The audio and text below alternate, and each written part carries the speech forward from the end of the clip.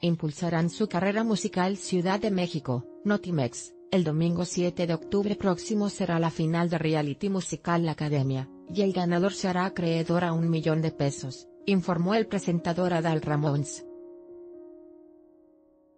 También dio a conocer que los tres primeros lugares firmarán contrato con tres disqueras importantes, Sony Music, Warner Music y Universal Music, cuyos ejecutivos estuvieron presentes.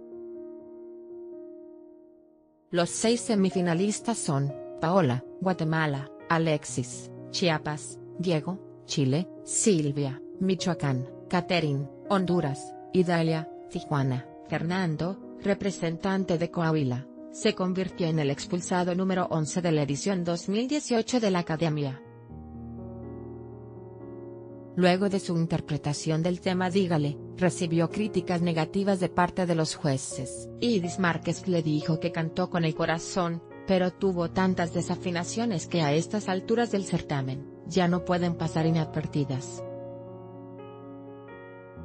Le aclaró que al público no le importa la vida sentimental del artista, pues paga un boleto para escucharlo y espera que dé lo mejor de sí. El comentario vino luego de que la novia de Fernando envió una carta acompañada de dos imágenes, para informarle al alumno que su relación había concluido.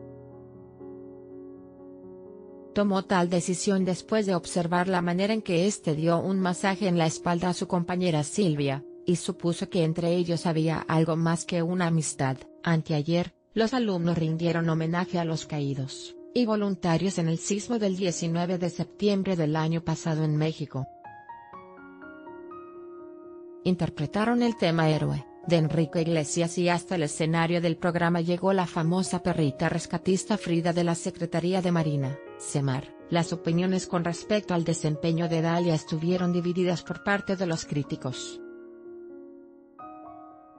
Sin embargo, Arturo López Gavito le subrayó que llegó a la academia para aprender, y no para enamorarse de su profesor. Comentó lo anterior luego de que la producción transmitió un video en el que ella se expresa de manera muy positiva con respecto a su maestro Jorge Romano.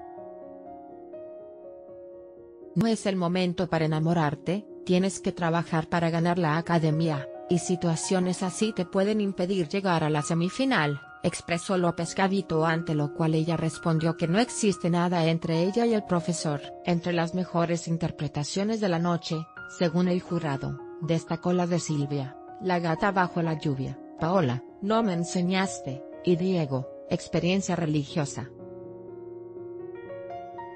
En la semana que concluyó los alumnos salieron de la escuela para visitar a la Virgen de Guadalupe en la Basílica, y pasear en el lago de Xochimilco a bordo de las trajineras. Idis González fue la famosa invitada a la academia en los días pasados. Compartió con los jóvenes algunos detalles de su trayectoria y que su padre falleció de cáncer.